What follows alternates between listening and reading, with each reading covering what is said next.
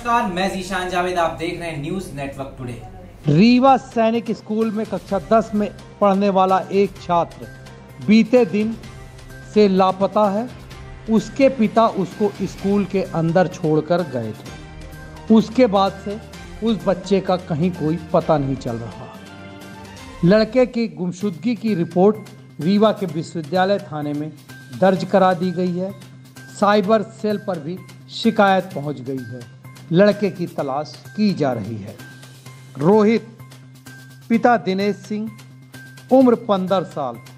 जवा बेलगवा का रहने वाला। पिछले डेढ़ दो महीने से अपने घर पर था। बीते दिन उसके पिता उसको लेकर सैनिक स्कूल पहुँचे थे। उसके कमरे तक गए। वहाँ उसका सामान रखवाया। बच्चे को स्कूल छोड़कर वापस चले आए। उसके बाद से बच्चे का कहीं कोई पता नहीं चल रहा है।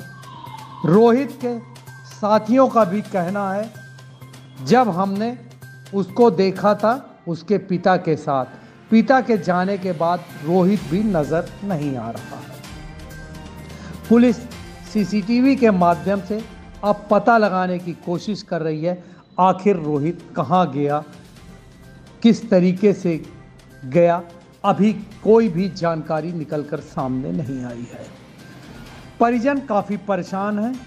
लगातार सैनिक स्कूल और अस्पताल के चक्कर ही लगा रहे हैं, लेकिन उनका बेटा अभी तक उनको नहीं पता चल पाया है, आखिर वो कहाँ गया। तमाम ऐसी बातें हैं। परिजन साफ़ तौर से नाराज़ हैं। स्कूल प्रबंधन को लेकर। उनका कहना है, सैनिक स्कूल में इतनी पुख्ता सुरक्षा के बाद आखिर किस तरीके से उनका बेटा लापता हो गया, पूरी की पूरी ज़िम्मेदारी सैनिक स्कूल की है। सुनिए, पिता और भाई पूरे मामले को लेकर क्या कुछ कह रहे हैं? हो गया जिसकी तलाश की परिजनों का कहना कि वो छोड़ के गए थे, उसके बाद वापस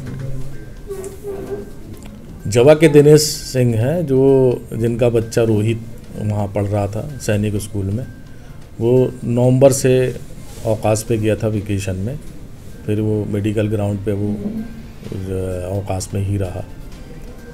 कल उनके पिताजी आए थे सैनिक स्कूल में, जैसा उनका कथन है, ग्यारह बजे वो सैनिक स्कूल छोड़ गए थे। और, ढाई बजे, तीन बजे वो अपने घर वापस चले गए थे, बच्चे को छोड़ करके। रात नौ बजे वहाँ गणना होती है सभी बच्चों की सैनिक स्कूल में। तो वहाँ के जो स्टाफ हैं, उनने गणना किया होगा तो ये बच्चा वहाँ नहीं था। उसको ढूंढा ढाना गया, फिर उसकी सूचना विश्वविद्यालय थाना में दी और उनके परिजन को भी दिया हमने उसका जो है सूचना के आधार पर तीन, जो कि 18 वर्ष से कम है, इसलिए तीन का अपराध पंजीबद्ध विश्वविद्यालय थाना में किया गया है। थाना प्रभारी विश्वविद्यालय और उनकी एक टीम लगी हुई है कि बच्चे को तलाशने में की और उनके सीसीटीवी फुटेज वगैरह देखे जा रहे हैं। ये भी जानकारी में आया था कि बच्चे के पास मोबाइल था, मोबाइल बनवाने के लिए वो कह रहा था। तो मोबाइल की दुकान में भी पुलिस जाएगी और उनका पता लगाएगी।